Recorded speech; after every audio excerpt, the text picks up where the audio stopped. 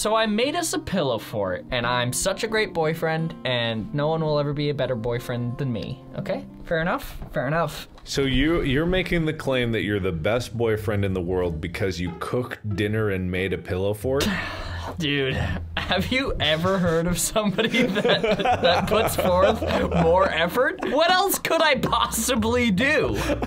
What more is there to a relationship You know? You're than right. that? You're right. You know, and uh, you know, if I if I asked Amy right now, I'm pretty sure she'd say I'd never done anything as nice as that for her in like my life, and I mean that seriously. Like, there's no way I can compete with that. There's no way. I mean that seriously. For a second, I thought that you were being real, and I was like, "Wait, Mark." I am being real. What do you mean? I am. She would absolutely say.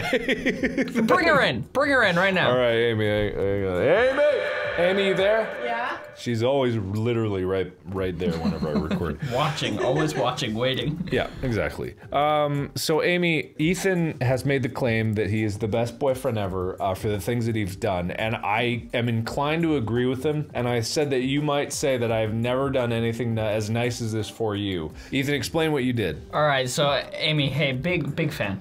Um, so what I did was Mika was over and she had a real bad migraine, and so she went to take a nap. And so while she was taking a nap, uh, I performed the you know the gentlemanly act of not only making dinner, but I was like, hey.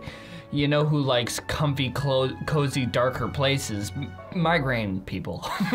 and so I made us a pillow fort and dinner and hot chocolate. Is that not the greatest thing a boyfriend could do? I don't think there's Now, anything I else. would argue that Oh, here we pillow go. fort is half of the fun. Here we go. Here we go. But she was sleeping.